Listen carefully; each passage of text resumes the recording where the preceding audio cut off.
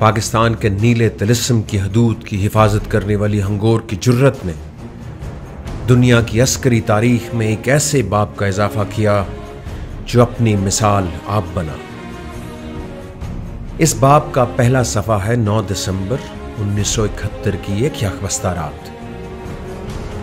जहाँ दुश्मन अपनी हटदर्मी पर कायम तो वहाँ समंदर जवां मर्दी बेबाकी और पाकिस्तान नेवी मिलकर एक नई दास्तान रकम करने को तैयार थे।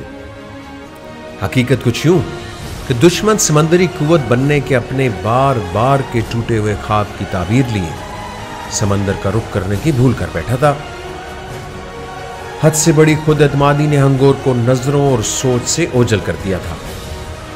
जबकि दूसरी जानब, हंगोर दुश्मन के इरादों का तयन करके जेर बहर अपनी बेहतरीन पोजीशन पर मौजूद थी।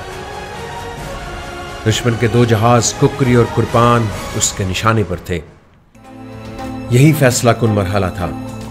और क्यादत की जानब से दुश्मन के जहाज़ों के हदफ पर आ जाने की जीरक हमत अमली भी दुश्मन के जहाज़ों को तहबाला करने की तैयारी मुकम्मल हो चुकी थी।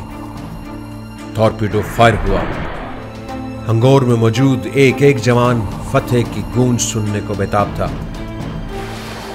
टॉर्पीडो के अपने मस्कन से निकलने के कुछ देर बाद ही समंदर की गहराइयों को दहला देने वाला धमाका सुनाई दिया। और टॉर्पीडो कुकरी जहाज़ के निचले हिस्से में मौजूद मैगजीन में जा लगा। देखते ही देखते हिंदुस्तान के समंदरी बर्तरी का दावा, कुकरी समंदर की झाग हो चुका था। दूसरी आलमी जंग के बाद पहली बार किसी आबदोज ने एक बहरी जहाज़ डबोया था।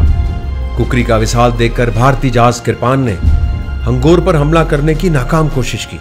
नतीजतन किरपान जंग के दौरान फिर दोबारा समंदर में उतरने के काबिल न रहा। चार दिन तक हिंदुस्तानी बहरिया हंगोर को तबाह करने की खातिर समंदर की सतह से तह में बारूद बरसाती रही, मगर 13 दिसंबर सन 1971 को पाकिस्तान बहरिया की यह फातेह आबदोज वतन की मोहब्बत में तमाम कर्ज चुकाकर कराची अपने पानियों में अपनों के पास वापस आ गई।